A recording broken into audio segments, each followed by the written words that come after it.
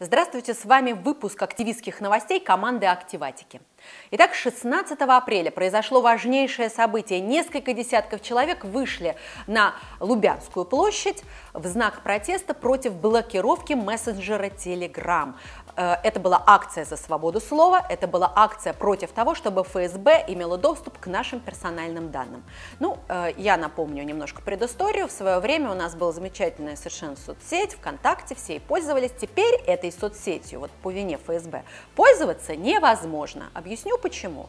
Ну, потому что э, ФСБ этой сетью завладела, и теперь ваши персональные данные оно может использовать, и использовать их против вас. Уже не, немало э, уголовных дел, когда человек что-то перепостил во ВКонтакте и после этого угодил в тюрьму. А, теперь точно такой же ФСБшники решили сделать с Телеграмом.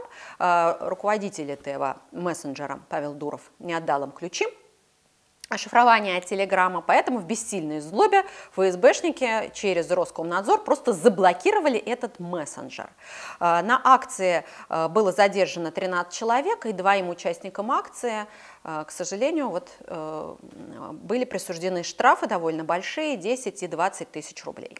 Москва задыхается не только от отсутствия свободы слова, но, к сожалению, еще от обычной гари и вони, которая последние три ночи москвичей мучает окна не открыть. А, ну, дело в том, что в таких районах, как Жулебино и Кожухово, мониторинг э, обнаружил превышение в три раза норм предельно допустимой концентрации сероводорода в воздухе. А активисты движения «Стоп-выброс» вот что обнаружили интересное на э, портале Мосэкомониторинга.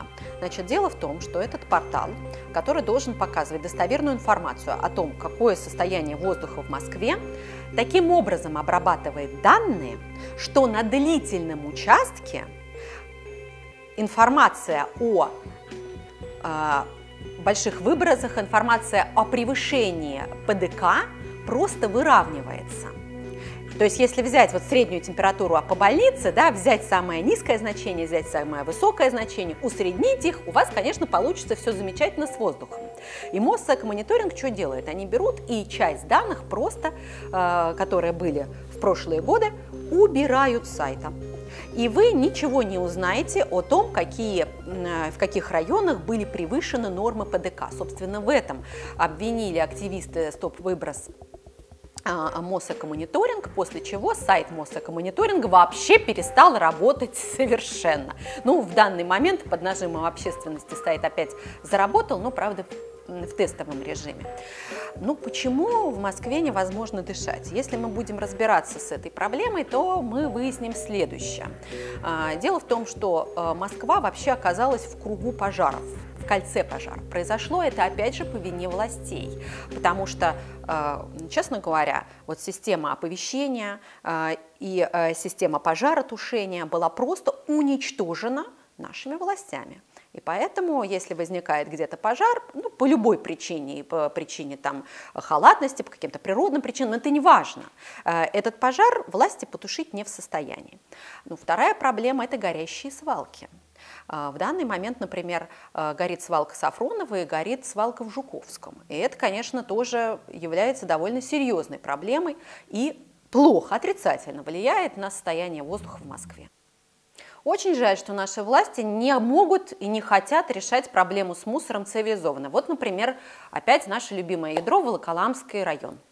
А, что там сделали власти после протестов, после огромного скандала, который вот разразился из-за полигона Ядрова?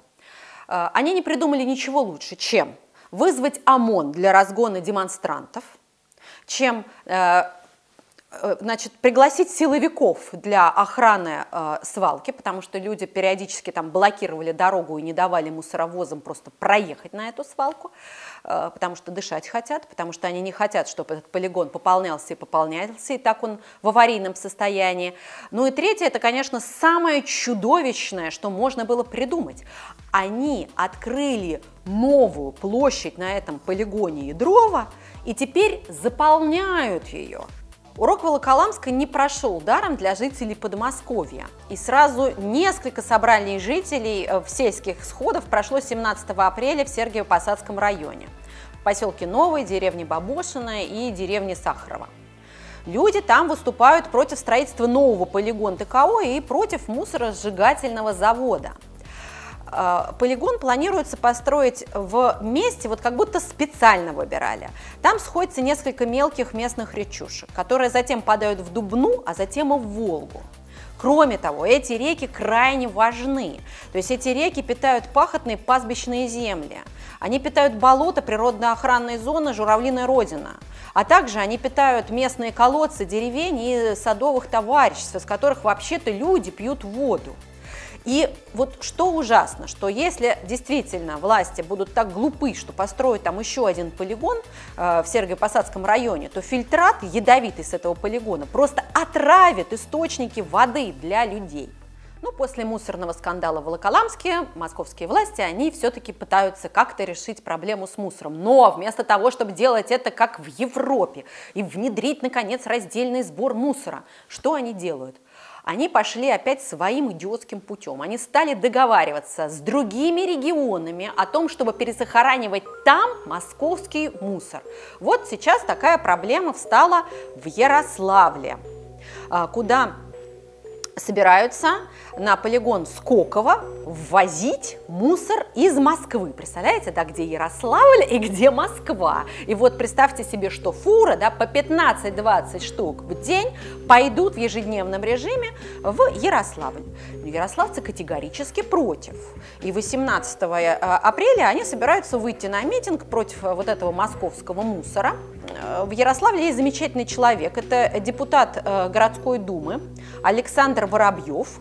Он лично а, отследил ввоз мусора из Москвы в Ярославль, который уже начался. То есть это не какие-то далеко идущие планы, это то, что это проблема, которая сейчас уже происходит. По утверждению Александра, вот этот Ярославский полигон, он рассчитан всего-то на два года эксплуатации, если туда начнут ввозить э, московский мусор. И, собственно говоря, вот через два года что будет с, э, с, ну, с мусором в Ярославле, совершенно непонятно, потому что никаких других мест захоронения в Ярославле нет. И нельзя всю область просто заполонить мусором своим и еще московским. То проблему надо решать по-другому. Мусорный коллапс – дело совершенно рукотворное. Это бомба замедленного действия, которую наши с вами дорогие власти заложили несколько лет назад, когда они начали коммерческую застройку Москвы и области, не соизмеряясь ни с какими градостроительными э, нормами, только для того, чтобы набить свои карманы быстрыми деньгами. И они вообще не думали про социальную инфраструктуру, ни минуты не задумывались, как люди будут жить вот в этих человейниках. И вот вам, пожалуйста, итог – когда власти не вкладываются в инфраструктуру, когда они не вкладываются в раздельный сбор мусора, пожалуйста, мы все с вами задыхаемся от вони. И вот этой вот вонью свалок теперь будет дышать и Москва, и Подмосковье, и еще те регионы, которые э, прилегают а пока московские власти и подмосковные загаживают веренные им территории мусором, тем временем в республике Коми загаживает нефтью прекрасную природу Лукойл. 15 апреля в Коми произошел разлив нефти. Причина аварии – разгерметизация трубопровода, проведенного к недавно построенному объекту Лукойла. Авария произошла поблизости от ручья Малый Вайвош, а, в него попала нефть. Этот ручей впадает в свою очередь в реку Яринга, а затем в Ухту. Снег еще глубокий, и аварию приходится ликвидировать вручную. Рабочие черпают смесь из нефти с водой, э, черпаками, заливают ее в полубочки, которые потом на руках э, подносят к дороге и уже затем э, загружают в автосССР. В этот раз об аварии сообщили сами сотрудники Лукойла – и применили меры для локализации аварии. Опять же, тоже сами молодцы. А вот два года назад, когда в том же самом месте произошел большой разлив нефти, Лукойл попытался факт аварии скрыть.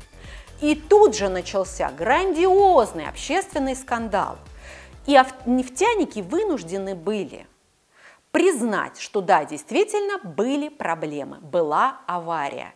И это пошло им на пользу, потому что вот в этот раз они уже ничего не скрывали, сами об аварии своей сообщили и тут же немедленно приступили к ее ликвидации. Это к вопросу о том, как эффективны общественные компании. Невероятная акция прошла недавно в Коме. Акция называется «Лыжи против нефти». В ней приняли участие 30 человек, и они прошли нефть, э, таким э, лыжным пробегом. Их основной месседж был такой, что хватит загаживать нашу землю нефтяными разливами. По официальной статистике ежегодно полтора миллиона тонн нефти выливается при авариях. Причина элементарная – ветхие нефтепроводы. Нефтяники просто экономят деньги и э, просто не чинят и не прокладывают новые нефтепроводы. Участники акции потребовали законодательно принять запрет на эксплуатацию нефтепроводов старше 20 лет. И этот вопрос выносится на ближайшее рассмотрение заседания Госсовет Коми. Народ задыхается от отсутствия свободы слова, от вони свалок, от нефтеразливов, а государство в истерике, потому что оно не может скрыть очевидного.